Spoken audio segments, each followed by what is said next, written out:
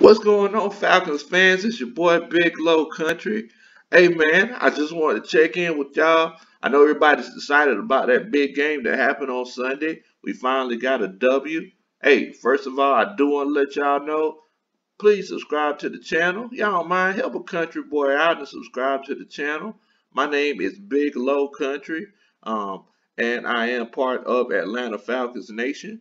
Just want to talk to y'all about this play, man. So this is the difference between uh, one coaching staff and a different coaching staff. So this particular play, uh, Minnesota's on the two yard line, um, getting ready uh, to try to punch the ball in, and we this is where we made a goal line stand. This is where we started off, guys. So um, let's take a look at this first play. We're gonna look at this whole goal line stand, okay? All right, so let's look at that in full motion first. All right. Boom, shot that gap. Beautiful, beautiful. Now, let's take a look at it again in slow motion. And let's just kind of take a look and see what happened and how it unfolded. All right, so we see here it looks like they have a loaded line, three tight end set.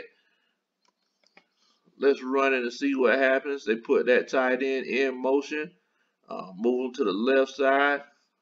Our linebackers shift over.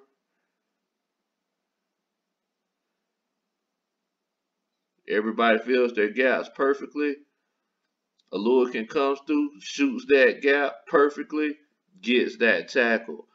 But let's go ahead and look at this thing from the other point of view. And let's look at those lines. We all know that that's the most beautiful part of football, man. Let's look at these this offensive and defensive line to see what happens on this particular play, guys. All right, so as we can see here,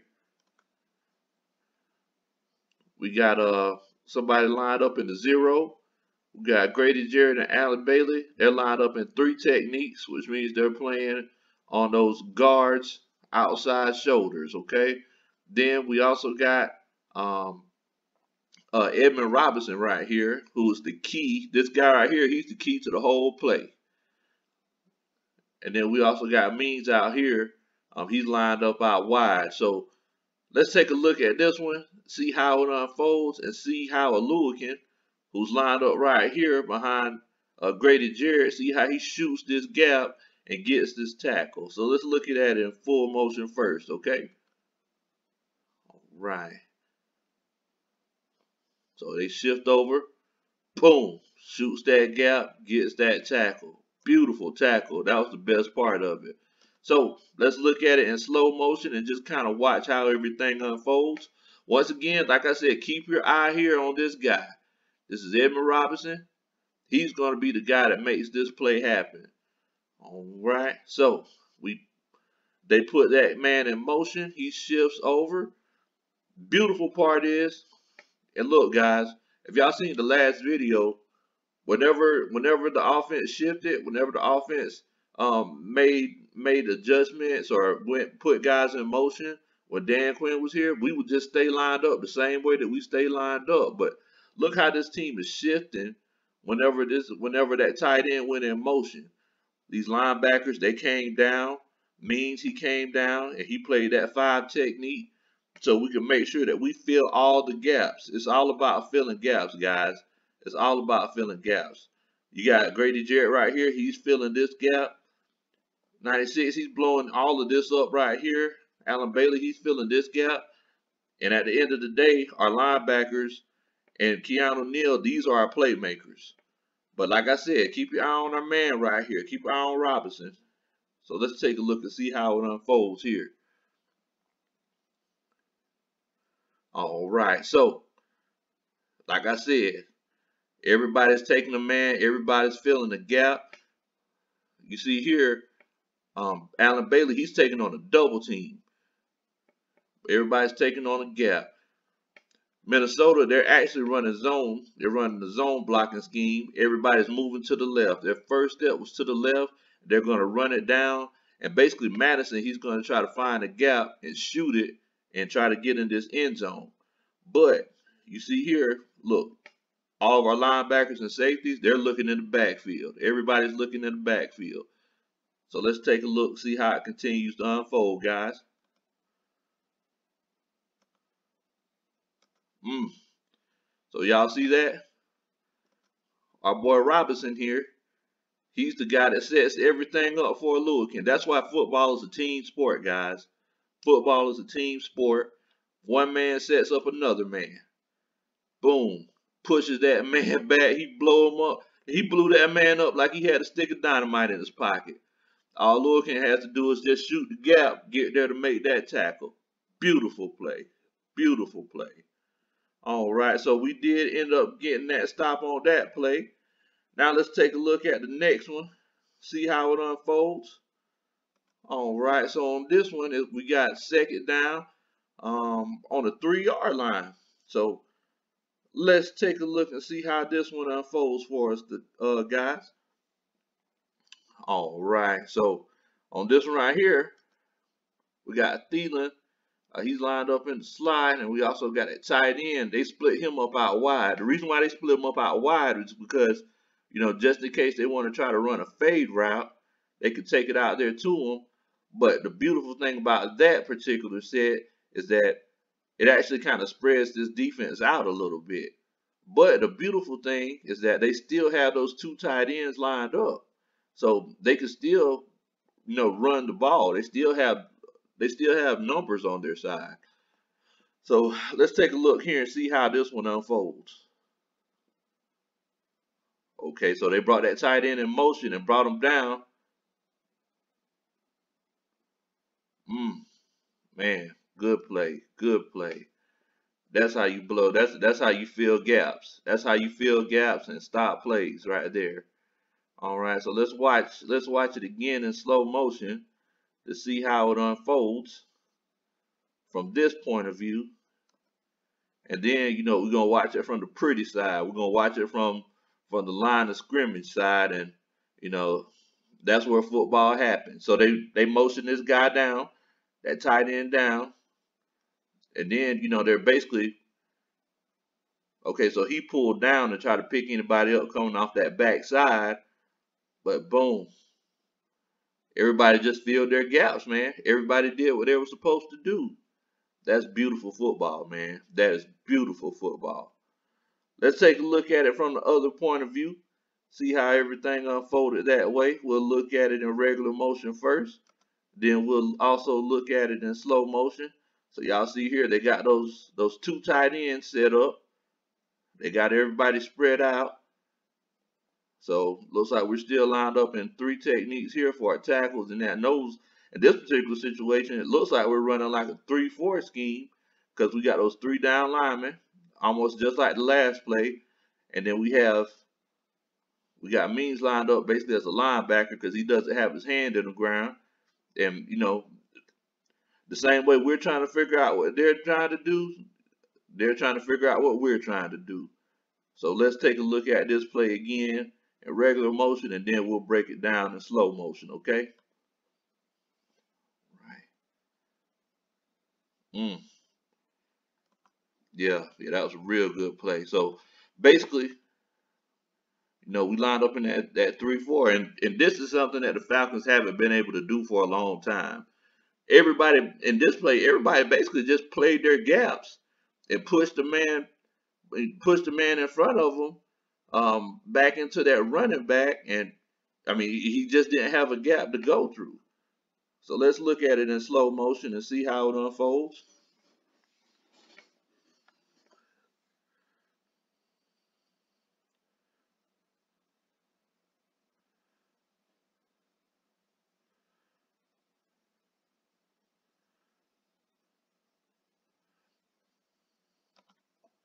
All right, so we see here, looks like Allen Bailey, he got a good, he got a good push on his man.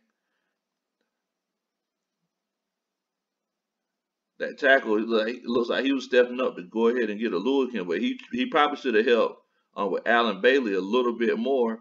Um, Debo, he was going to try to clean up everything in this gap. Let's see here. Mm. So Allen Bailey basically made this man change directions. I mean, and everybody else just did their job and made sure any other gaps were full and picked them up, man. That's how you play ball, man. That's how you play ball. So let's look at this next play. So they stopped them. Uh, they got down to the one yard line though. That's the thing. They got down to that one yard line. So look, man, now we we got a little bit of real estate to work with. So let's take a look here and see how this one unfolds here. All right, so first let's look and see what we got. So, all right, so we looks like we also got another three tight end set, offset I formation. But look at our defensive line. Everybody's up here. Everybody's up here. So it looks like we're going to bring it. It looks like we're going to bring the pressure. Um, got Deion Jones back here. Uh, to fire this man back. And looks like he's just going to kind of read and see how, just read and react. This is this is a everybody hit everybody else, and we're going to read and react kind of situation. We used to call this one red nose because by the by the time this play is over with, somebody nose gonna be bleeding. So let's run this one and see what we got here.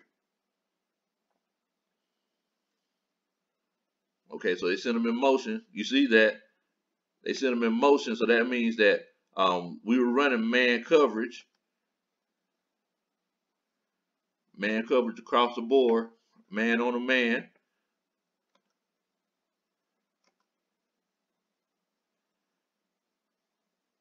Beautiful play, man. Beautiful play. the Reynolds running downfield. Hey, I used to, my, I always tell my players, don't stop. If, if you think you got a chance to, to get a turnover until they blow that whistle, you don't stop running. All right, so let's look at it from the pretty side of view, guys. So look at here. Um, everybody's on the line of scrimmage. Everybody's on the line of scrimmage. So let's take a look and see how this play unfolded.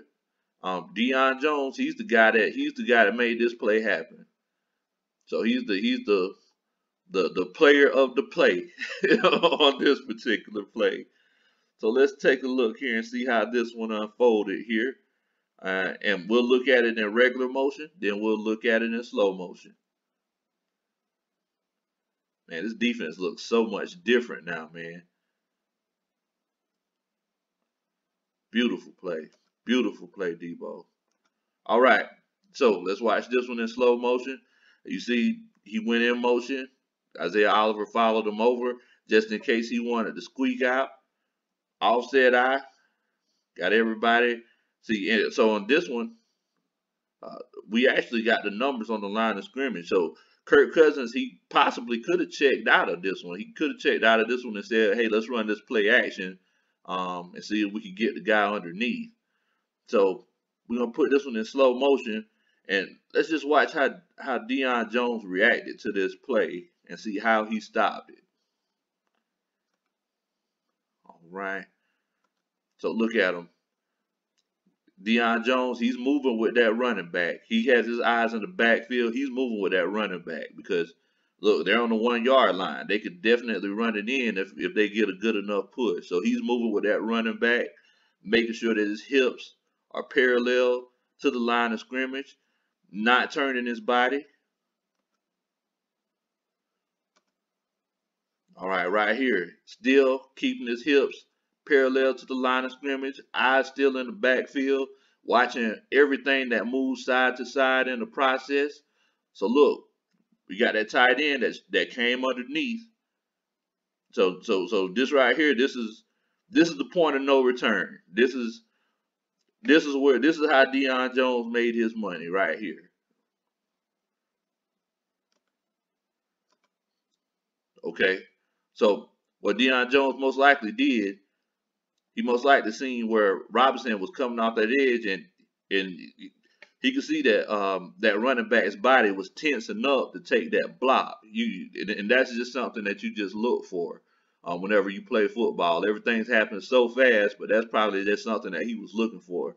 So let's see how uh, he changes direction and makes a beeline uh, to the flat to try to stop this play.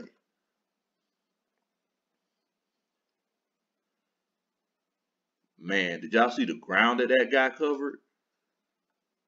Did you see how that man put his foot in the ground and got got to that flat like that?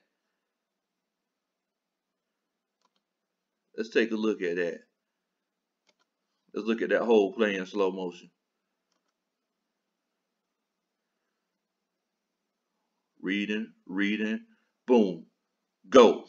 You see how he planted that right foot? He just took off. Stick that elbow in there, knock the ball loose. Textbook play. Textbook play. All right. So, fourth down. Fourth down. This is where this is where boys turn into men right here, guys.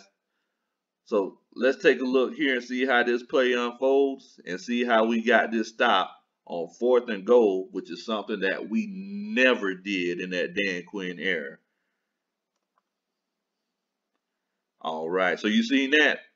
The first thing that I noticed about this play, they rushed the line of scrimmage. So so whenever they rushed that line of scrimmage, it wasn't even a second before they hiked that ball. This is something that coaches teach because they're trying to catch everybody off guard. Look at everybody's body language. There ain't that many people set. Nobody got their hand in the ground. I always teach my players, look, you wait on them to come. You wait on them to come and hike the ball. Don't don't wait on them to get down and get and get set before you have your hand on the ground. You know, and I'm talking about the defensive line.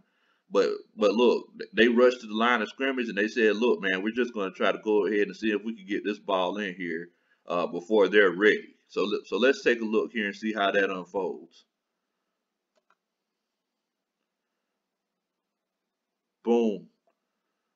So for everybody who says that that young man Dante Fowler isn't doing his job, I'm going to go ahead and tell y'all that man Dante Fowler made a heck of a play. A heck of a play. Let's take a look at this one again.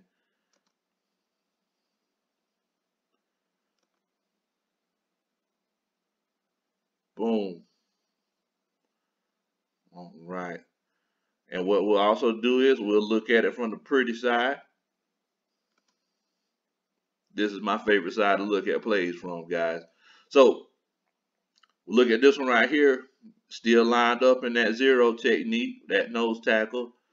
Um, Grady, he's pointing inside. Whenever you see a whenever you see a, defensive lineman with his body turned inside like that at an angle instead of facing straight like that, that's called pinching. That means that he's going to try to cross this guy's face, and he's just trying to get directly to the ball. So he's trying to most likely Grady Jarrett's trying to make sure that Kirk Cousins doesn't uh, run a sneak or something like that. But let's see how Dante Fowler got back there. So let's run it in regular motion first, and then we'll run it in slow motion.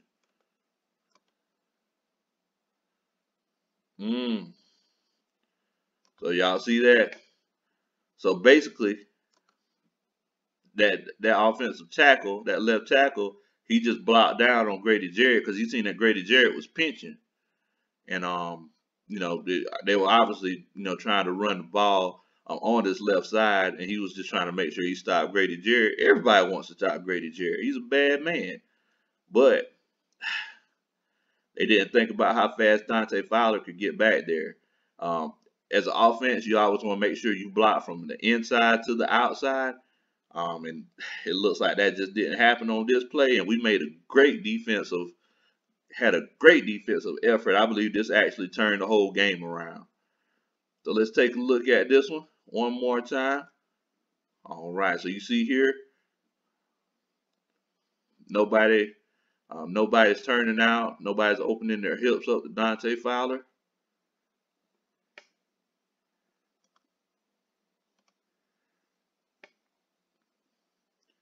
Keanu Neal, he was going to come try to try to blow this play up, but there was somebody coming down to uh, coming around the corner to meet him in there. That would be a. I hate to be in the middle of that collision. Oh, okay. Well, actually, I'm wrong. This guy right here, he was actually going to try to come and pick up Dante Fowler. He seen Dante Fowler coming.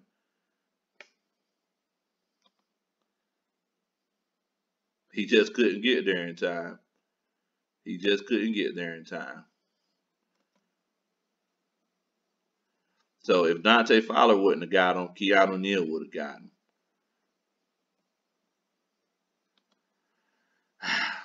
hey man, this week this defense looked a whole lot better. Um, I definitely loved how everything unfolded. Uh, we definitely have to get better at our pass defense though, because look, Jefferson ate us alive, man. Um, uh, getting to the quarterback, we definitely did a lot better at that. But you know that that coverage, uh, if if we do want to try to turn things around, we got to just make sure that we continue to improve week by week. And I definitely think that we could do that. Um, look, man, I really appreciate y'all watching these videos. Like I said, I'm a coach. Um, and everybody who watches these videos with me, hey, I, I consider y'all part of my coaching staff, man. So uh, if y'all see anything that I missed or anything that y'all want to point out to the other viewers, make sure y'all point it out, man. And like I said, I appreciate y'all chilling out with me. Um, my name is Big Low Kuntry. You can check me out on Twitter and Instagram. I'm at Big Low Kuntry. And um, hey, y'all do a country boy a favor, man, and make sure y'all subscribe to my channel, Big Low Kuntry Sports. Y'all have any questions about football, fantasy football, or just want to talk about some football, y'all make sure you hit me up, man. I'm I'm always eager to talk to you. So thank y'all so much and rise up. A town down.